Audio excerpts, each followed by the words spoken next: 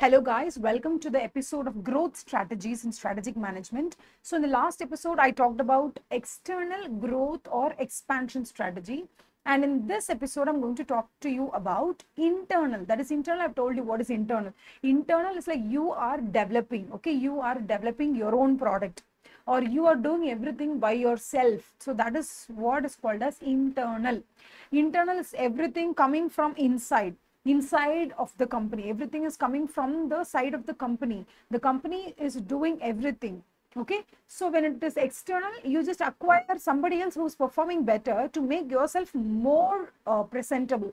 So that was external. So now we are going to talk about now we're going to talk about full and full internal growth or expansion strategies. So firstly i would like to tell you that in the internal segment okay in the internal segment we have two classification. Number one they are going to talk to you about expansion through intensification. See here you have expansion through intensification. Wait a second. Here we have expansion through intensification and you have expansion through diversification. I'll tell you what intensification is a strategy where with the already uh, with the already available product and with the already established market you're trying to push more and more into the market or you're trying to um, you're, you're you're just trying to enhance the present capability. That is the intensification strategy. But when we talk about the diversification you are not talking about the currently available product at all. You're trying to produce a completely new product okay which is not at all your available current uh, product or something like that.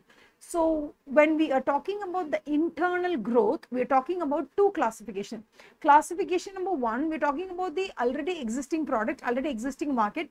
Now we're just going to push the already existing product into the market through different gimmicks so that is called as intensification strategy. Intensification strategy is like you have come up with a product, the product is doing well, the product is very, very, very qualitative and it is being received by the audience or it is being received by the customers. But then what is what is needed is a very greater push in terms of marketing, branding, something like that. So you want to brand yourself okay you want to market your products uh, well than before so that is called as intensification strategy but when it comes to diversification diversification is totally different. For example, have you ever heard about the Steelbird helmets? Helmet or a brand, Steelbird. What do you think when I talk about you have something called as Steelbird makeup items or Steelbird face wash, Steelbird skincare essentials. So now essentially you and I know about Steelbird as a branded helmet maker in India or at least I know Steelmaker, I mean Steelbird as one of the most prominent helmet makers in India, branded helmet makers. That is what I know of Steelbird. But all of a sudden, if you come and give me a soap having a name called as Steelbird, do you think it will entice me? No, it will not. But if Steelbird is going to uh, start a company to manufacture skincare products, or hair care products. That is a completely diversified form of uh, growth or expansion. So here in this episode we're going to concentrate on expansion through intensification. No now what do you mean by intensification? For example when we're talking about the steelbird steelbird helmets how Steelbird is going to brand itself as a helmet maker or how Steelbird is going to improve the quality of the helmet or how Steelbird is going to launch eight different colors for helmet for uh, women category. So when we talk about a Steelbird helmet and in the helmet category we are talking about improvising the quality or improvising the reach of the helmet to the south of the country or to the east of the country or to the offline channel online channel or making the Steelbird helmet available online through Amazon or Flipkart? Or do you think Steelbird wants to open its own website to sell its own products to the customer directly rather than going through the wholesale model reta retailer or dealers or online model? They want to go um, and sell the products to their customers directly. That is D2C is what they call directly to the customers through their own website. So here when we talk about Steelbird is a prominent helmet maker in India. And when we are talking about improving the quality of the helmet or improving the buckle quality of helmet or color variant in the helmet or the quality of the shield okay when we talk about uh, when we talk about uh, taking the helmet uh, into a branded category and in the branded you have elite category or special category or prime category or economy category. But every category is going to give you perfect uh, perfect safety. But then the prime category or the elite category will give you some added advantage. For example you have the bluetooth helmets now. You wear the helmet you don't have to care about what if uh, i get a phone call. I cannot talk when i put on my helmet. You don't have to worry about that because now you've got the helmets with bluetooth mm, uh, uh, specifications. So when we're talking about how to improve the helmets from a normal helmet to a bluetooth helmet okay from a normal helmet to a smart helmet. When we're talking about helmet helmet helmet and smart helmet bluetooth enabled specifications um, Wi-Fi calling everything. When we are talking about helmet, helmet, helmet and the complete talk is all about helmet centric and you want to take the helmet to a different level by color variant for gender specific uh, for male and for female. And for female when we are driving Vespa when I have a fluorescent green color Vespa and I want my uh, Steelbird helmet which is also to be fluorescent green. So those type of customizations if it is done by Steelbird okay? So these are the things I'm talking about when I talk about intensification. Intensification is already I have something and I'm going to intensify the presence. For example, when I talk about Arun ice creams, Arun ice creams is famous only in Tamil Nadu. If I talk about Arun ice creams in Maharashtra, maybe like, yeah, in the recent times, Arun ice creams or in the recent times, the Arokya milk has stepped into Maharashtra. But if I talk about the Arun ice creams in Mizoram, okay, or if I talk about the Arun ice creams in Himalayas, or in, in some part of the uh, northern part of country they wouldn't know about the brand at all. So now when i talk about taking arun ice creams pan india that is uh, across india i want to launch this uh, brand then that is called as intensification. Already i have the product. Already i have established tamil nadu market or uh, hyderabad or kerala. Now i want to uh, concentrate on pan india across india full full india coverage. That is called as intensification. But when I talk about um, I don't want to produce a Steelbird helmets hereafter, but I really want to produce hair care products, skin care products, something like that. And that, my girls and boys, is called as diversification. Purida. So now, in this episode, we will concentrate more on to intensification. And in the final episode, that is in episode number three, I'll talk to you about diversification. So now we are going to talk about intensification. Intensification uh, has primarily three types. And the fourth type is what they call uh, and fourth type you have one thing i'll discuss it with you later. But now the first one what is it? They're call, they're calling it as market development. So all the three uh, that is what all the three types of intensification given in the module is market penetration market development and product development. So first i'll talk to you about the product development. Product development is where your uh, you have a core product. For example we'll talk about the royal enfield. Have you seen the royal enfield bikes right? Yeah. You've seen the royal enfield bikes? Yes. I can hear you. Okay. It is yes only. Nobody uh, would be like no i don't know any company that is uh, called as royal enfield. And nobody can say. Of course everybody knows about the royal enfield.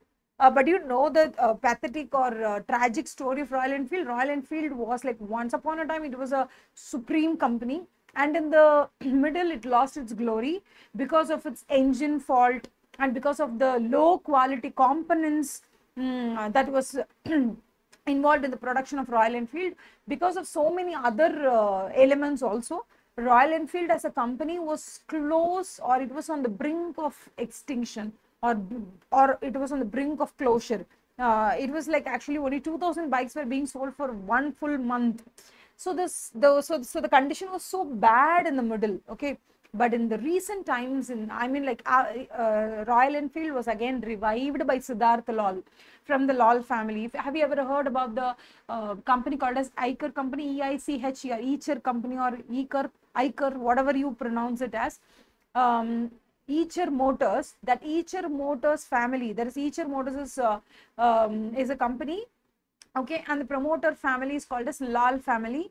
And from that family, Siddharth Lal, he was um, he was posted as CEO for Royal Enfield. There is this two-wheeler segment. Okay, and uh, when Siddharth Lal took over his position as CEO of Royal Enfield, he first of all encountered lots of problems with Royal Enfield. Of course, Royal Enfield has a good name, it, it has a goodwill, and it is always a, a, product to be looked up. Okay, uh, you really want to own a Royal Enfield.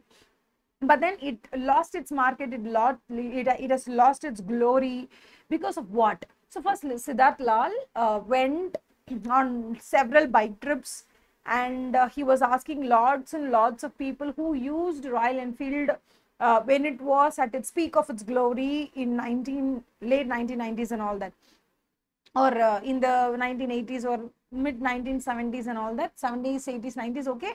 So those who were uh, owning the cars when it was uh, when it before it lost its glory.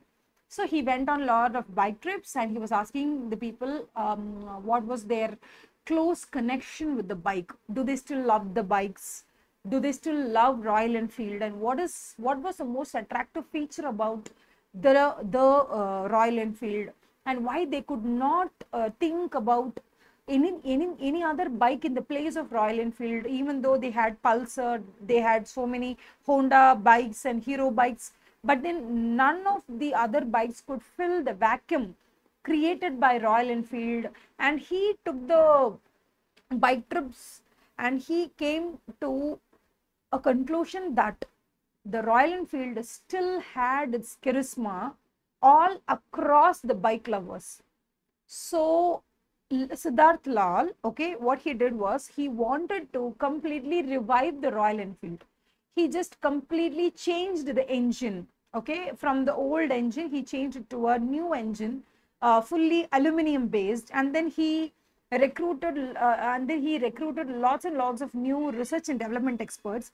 And he also had a consultant uh, from the europe okay? Uh, avl technologies i guess. I don't know. I really do not know the exact name. But then he uh, he had a consultant from Europe, and they were designing the entire new new look of Royal Enfield. And all the supplies of Royal Enfield, all the components of the Royal Enfield bike were completely was was completely whitewashed and new sets of suppliers was brought into the uh, frame. And all the suppliers were now being compelled for super quality of all the components. As a result as a result the royal enfield was launched after revival uh, in the year 2002 i guess in the name of thunderbird.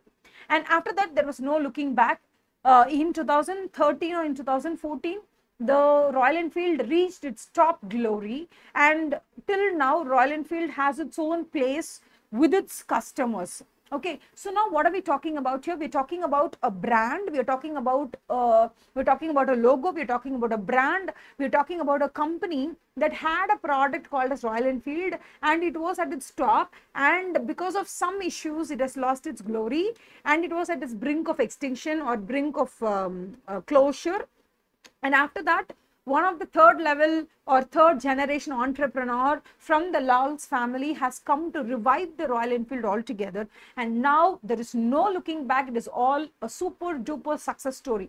Do you know in order to fund or in order to fund this uh, Royal Enfield revival, each company, um, that is the Siddharth Lal's family held nearly 40 different companies. Okay and Siddharth Lal literally sold off uh, nearly 30 companies okay? 30 companies were, were sold off by Siddharth Lal.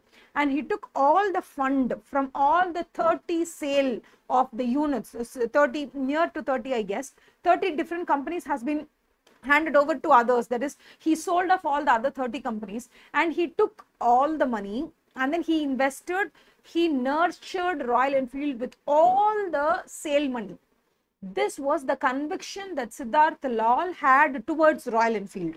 He felt that yes, this two-wheeler segment can be revived again and he did not want to concentrate on 30 or 40 different companies, uh, clothing company, textile company, leather company, okay this company that company the lal's family had 40 different sectors or 40 different companies in different sectors so he wanted to streamline all the 40 companies or 30 companies okay and then he wanted to concentrate only on two wheeler segment.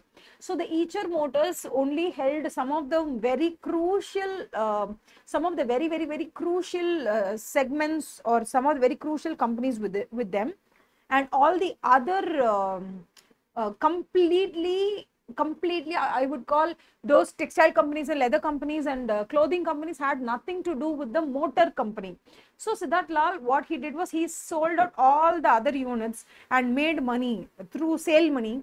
And through the sale money he revived royal enfield. That was the conviction that siddharth lal had. Now throughout this episode i'm going to i i have talked to you about only royal enfield royal enfield royal enfield. So this is what i call as product development we we score a product and that product is royal enfield. And we are talking about royal enfield improvisation components um, uh, that is the engine specification engine design. You have a consultant from europe okay? You're talking about the research and development team in india the research and development team that you asked to come from europe. So you do lots and lots of activities. You are uh, you are having a blueprint for your development but you're all cordially you're all having a very very very rhythmic development of what? About a product. Everybody is working towards the development of a product and that product is royal enfield. So when all you do is to develop your product uh, change the specification change the change the module or change its appearance um, because you're launching the bike in 2002 that is in 21st century you're launching the bike so the users of 21st century are sure going to be different from that of the 19th or 20th century which means your appearance of the bike has to be different and it has to be updated. It has to it has to have the capability to fight with their comparisons or rivals. So uh, when you talk about pulsar or when you talk about any other bikes other than Royal Enfield in the 2020s or in 2021, 2022, Royal Enfield should have the capability to have a rival fight with all its rivalries. So that is the expectation of Siddharth Lal and the customers are so satisfied that even the warranty claims have reduced because all the component quality has been improvised. So now we're talking about product development. We are only talking about how to improvise a product, how to develop the core product into a more presentable, more value addition to the customers. So when you talk about product, when you're intensifying, you already have a product called as Royal, Royal Enfield and you're intensifying your approach, you're intensifying your effort to launch an updated version of your existing product would mean we're talking about product development. Okay, I think you're all very clear about this topic. Uh, and with this gained knowledge, you can go and read the book lines. You will obviously be ending up with so much of enlightened knowledge. And number two, we are going to see what is the number two in intensification. We have finished this product development. We have finished. The example that I've given you is Royal Enfield. Number two, we are going to develop the market. Market. So now I'll give you the example of uh, I'll give you the example of what I've taken some examples where I'll see. I'll take the example of Firebolt.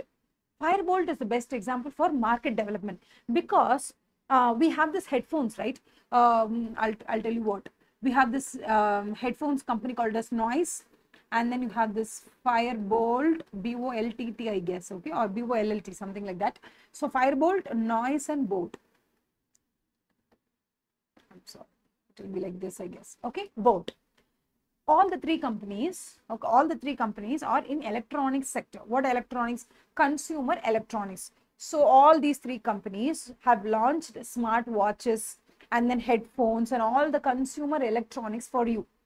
So way back when we talked about uh, when we talk about some headset, okay, in 2015 or in 2002, 2003, 2004 and all, when we talk about headset, it was like a audio audio gadget, audio device, something like that. When you want to hear some tape recording as a video evidence or audio evidence, you want to hear to that, that is always called as an audio device or video device or a gadget. But today, boat, noise, Firebolt has made a new technology statement, like it, it, it has all become a lifestyle brand.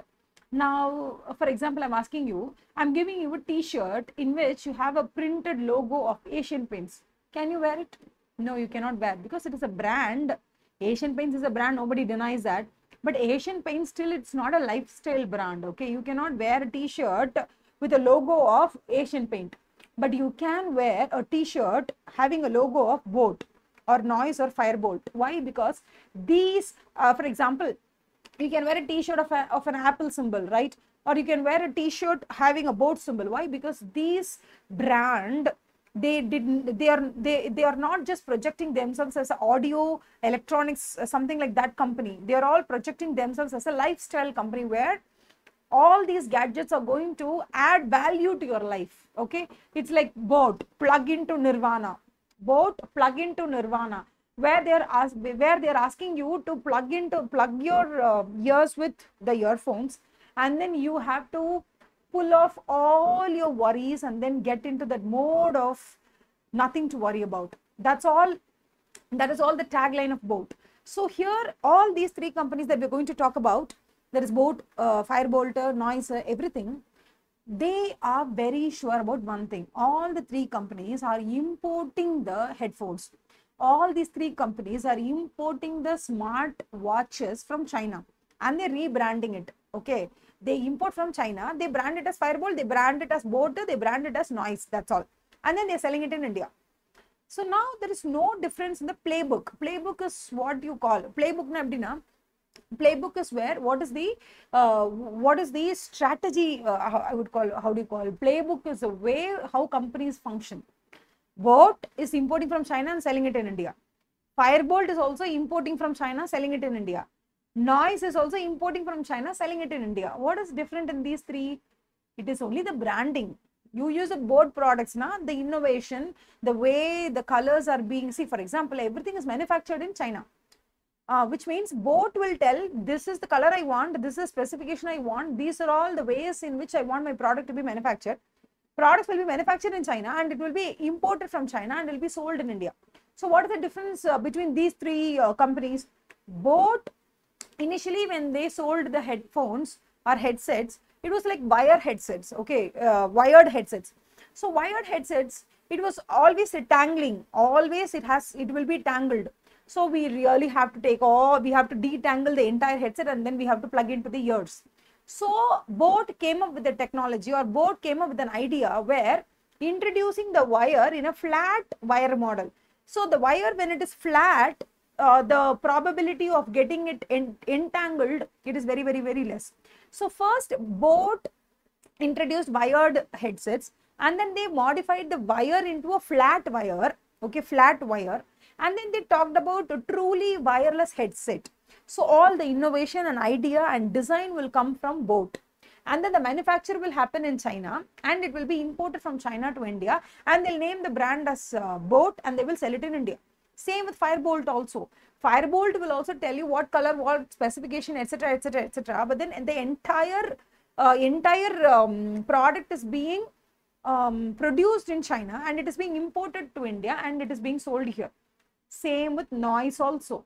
There is no other escapism. You can ask, ma'am, this is all full of anti-nationalism. We are not even producing in India. Why are we not producing in India? Do you think boat, firebolt and noise are quack people? Uh, do you think they're foolish people to uh, produce in China and then import it to India and sell here? If the production is possible in India, they would have done it here, right? And the production capabilities in India right now is not eccentrically uh, with that of China. We have some backlogs of our own that we will discuss in a separate chapter, but still now, all these three companies are designing their products in India or to some extent they innovate their design to some extent, okay.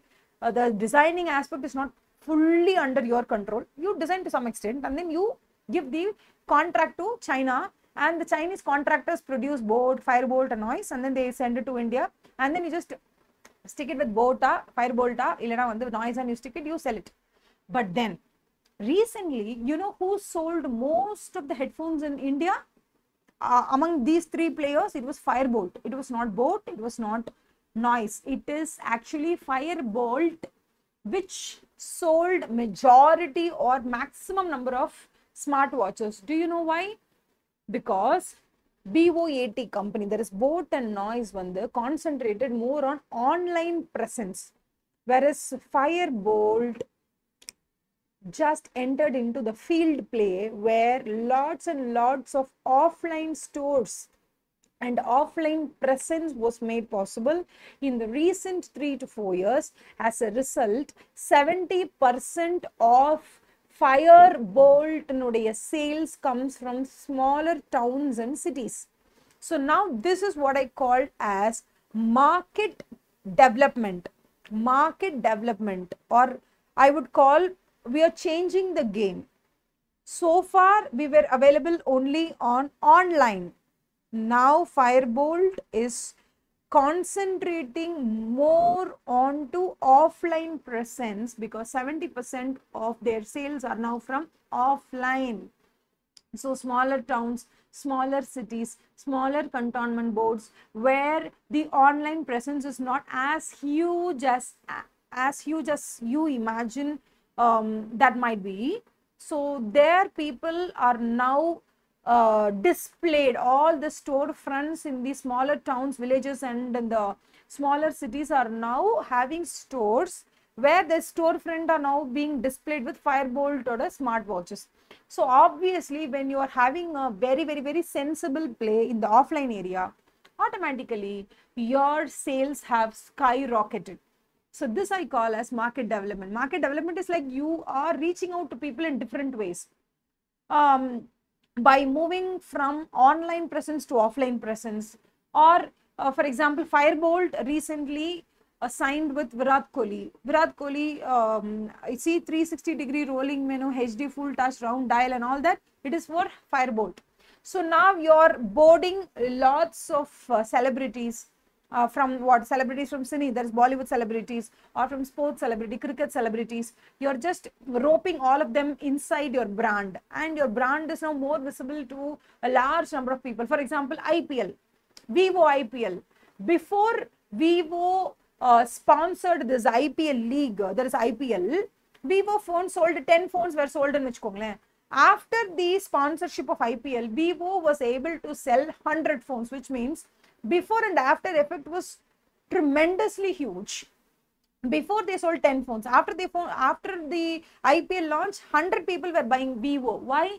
Because ipl as a league um, as a cricket league had its audience to the nook and corner of india which means ipl's ad or sponsors were becoming more as a household name into large number of village. As a result more number of people were now uh, more familiar with the brand name called as Vivo. As a result, Vivo was able to sell more number of phones after IPL. So now I would call Vivo IPL after IPL sales and then Firebolt roping in Virat Kohli as a brand ambassador or as a celebrity face and then launching offline stores and offline presence pushing the offline presence. These are all the ways in which you can develop your market reach. You can develop from uh, you're known only to the online online audience. You have to go to the offline audience. You are only known in the urban areas. You are not known in the village areas. Go and sponsor the IPL. Okay. Um, uh, you are not known to many people because you are lacking the marketing and branding so then ropin ropin is like bring in people from bollywood and from the cricket so that many people will be familiar with your products. So these are the steps that you take in order to make yourself more more visible. So making you more visible in the market is called as market development. It is called as market development. And finally, we are going to talk about market penetration. What is market penetration? Market penetration is you are going deep into the market you're going deep into the market. I'll tell you what. I'll tell you the best example for market penetration. Market penetration best example is arun ice cream. If you are very well accustomed with tamil nadu in tamil nadu Arun Ice Creams has created a brand for itself. Will you believe that Ibaco is also a product of Arun Ice Cream? But we will never be able to see Arun Ice Cream Parlor hosting Ibaco ice creams. Or we cannot buy Arun Ice Creams in an Ibaco parlor because Ibaco is a premium quality ice cream parlor and Arun Ice Cream is an economy class ice cream parlor. So basically, when, when I come to talk about this market penetration, we're actually talking about something here. Penetration is like already you're present in the market, there is no doubt, but you're trying to push your product into the nook and corner of the country. So how do you do it? How do you do it? So now market penetration concentrates more onto distribution channel or having a retailer. Um, I'll tell you what is the difference between market penetration and market development. Market penetration is like it talks more about the infrastructure. How do I make my product available in this place, that place, this location, that location, urban location, rural location? So, market penetration is all about the locality, location, reach, outreach, market penetration. When we talk about market development, it is all about we are only present in this level. We really have to develop this. Market development is like i'm going to hire some professionals i'm going to rope in virat kohli i'm going to advertise i'm going to do the marketing i'm going to do the branding. I'm going to do some something in order to make myself visible. So more of branding i would call it as market development but more of making your product reach the customers i would call as market penetration Market penetration is like making the people, even in the villages, be able to buy your product. So that is market reach. Penetrate into the market and then make your products available there. So that is called as market penetration. Market development is like make your product more visible to people. Make yourself, your brand to be visible in the eyes of the people. So this is how this is how we uh, we we learn about these products okay we learn about these strategies uh, we talked about Royal Enfield. Okay, Royal Enfield is the best example for product development. And we also studied about, wait a second, I'll help you with this. Yeah. One second, I'll show you one thing. Yeah. Look at this one. Yes. Now. I'll share the screen with you. So here you have this product uh, market expansion grid. In this number one, there is market penetration. How do you do this? You have to increase the market share. You have to increase the product usage, increase the frequency used, increase the quantity used, find new application for current users. So here you're trying to you're trying to make the users buy your product more and you're concentrating on to reach the product to more users. So this is all about market penetration. But when it comes to market development, we are targeting the new segments, we are targeting new people, we are targeting the entire set of audience. It's like, uh, for example, I'll tell you the best example. You know about a product, but in your area, that product is not available. So now where are you lacking? You're lacking in market penetration and not in market development. Your market is already developed. Everybody knows about the Vivo phone. But if I go to the mobile store, I'm not able to get the Vivo phone because that dealer is not having a Vivo phone in his shop. Now, whose fault is it? The fault is from the side of the Vivo because Vivo has developed the market, but it did not penetrate into the village. So now what happens is that penetration is making a product available and market development is development is making a product known to the people. Okay, so here development we talk about um, expanding geographically and targeting the new segments. Okay this is what is the most important thing. And finally we have also product development. I'm talking about the royal enfield. And if all these three are fully uh, achieved you have developed your product there's nothing to develop in your product fresh. You've already developed uh, extremely well okay? So you've, you've developed your royal enfield to the fullest extent okay? Market penetration you've made your product available even to the nook and corner of the um, uh, for demand. Wherever there is a demand there is a royal enfield available okay? You've made that also. And then you've made many of the indians to know about the royal enfield. So now the brand visibility is very clear. There is uh, there is nothing you could do more in order to make your brand much more visible. So everything you've done. So what are you going to do next? Obviously you have to diversify because here everything is just saturated. So they talk about market penetration market development and then product development. And finally if all these three are fulfilled, then just go on to some other sector. I'll give an example. When once Royal Enfield is developed into a full product, as in like wholesome product, and then market penetration is reached and market development is also reached for Royal Enfield. Now what Royal Enfield should do? Royal Enfield should project itself not just as a bike, Okay, you should have some flagship store. For example, you should have a store experience. Once I come to the store to buy some Royal Enfield, you should also have a helmet which is exclusively customized for Royal Enfield bike. If I buy a camouflaged uh, Royal Enfield bike, I would also buy, I would also like to buy camouflaged um, helmet. So Royal Enfield should now diversify into manufacturing of helmets. And then you will be having a gloves, right? When you drive the bike, when you ride the bike, ride on the bike, you really will get a very hard palm. So in order to avoid that, you have to wear the gloves. So why not Royal Enfield? Okay, why not Royal Enfield diversify itself and produce gloves and then helmets and then all the bike accessories in order to make itself project as a a bike ride ecosystem, not just as a bike alone. Now, if you go into a, a Royal Enfield experience store, okay, you have an experience store. I'll show you the Royal Enfield flagship store. Uh, it is also called as an experience store. Here, if you go, you will have lots of Royal Enfield bikes to view, and then you will also have lots of mobile, uh, that is what, bike accessories okay lot of uh, helmets. See you have helmets and the jackets that you wear while uh, mountain trekking and uh, mountain ride elam pogumbodhu you will be wearing that exclusive um, jackets okay? Winter jackets and all that. So they have this jackets here yes? Wait wait a second. I'll just copy this image. We'll go here. We'll paste it here. And i'll tell you what. See this is the flagship store. Here you have this, wait a second. Okay. Here you have this helmet portion, helmets. Okay. I think the screen is shared with you. Yes, okay. And here you have the bike. Of course, you have this bike.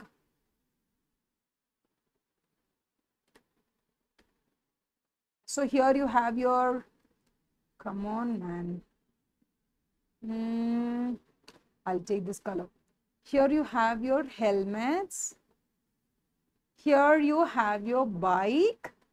Here you have your jacket. Okay.